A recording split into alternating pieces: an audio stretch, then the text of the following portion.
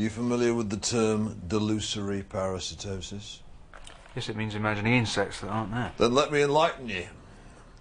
It's imagining insects that aren't there. I think that's what I just said.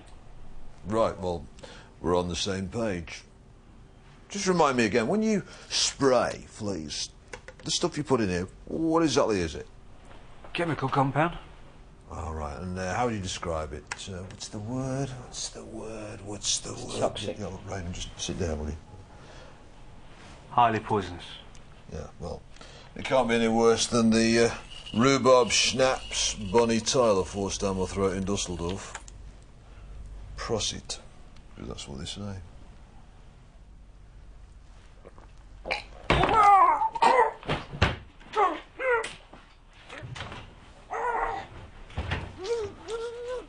Please, please. I'm not dying. That was just some acting. That was good. Yeah. No. In here, mate, there's nothing more harmful than good old H2O. Maybe a little residue of washing up liquid. Well, you can't prove that flask belongs to one of my operatives. That flask belongs to me.